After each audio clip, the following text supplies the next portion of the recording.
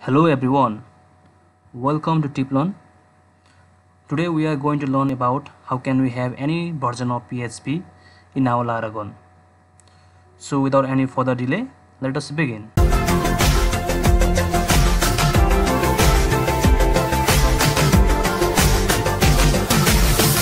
First of all, open your Laragon.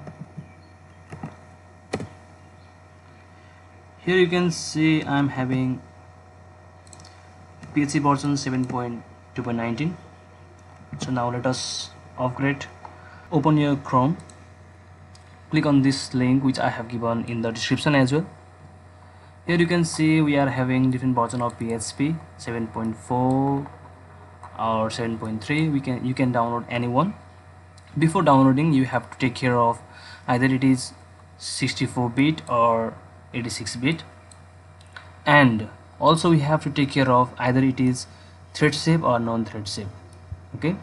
So basically what happen in thread safe and non-thread safe is in thread safe we can have multi-threading and it is also stable.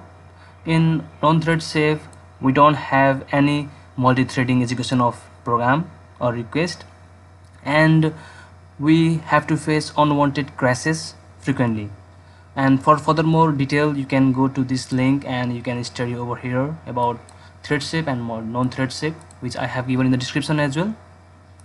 So now let us download PHP version 7.3 you can choose any version of PHP okay? So now PHP version 7.3 I'm going to download with thread safe and 64 bit.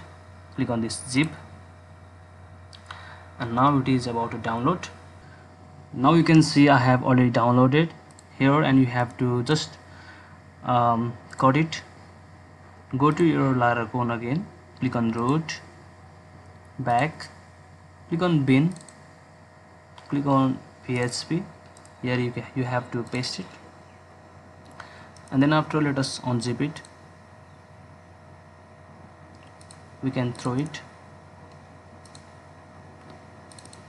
and yes now everything is all set. Just go to your PHP and then after uh, when you click on PHP version then you can see yes we are having now PHP 7.2 as well as 7.3 when you switch our PHP version then you can notice our we can get notification as well as uh, here you can see we have uh, we have got 7.3.2 3.1 okay so that's all and we can also downgrade your PHP version just by clicking on this version and then after yeah down downgrade.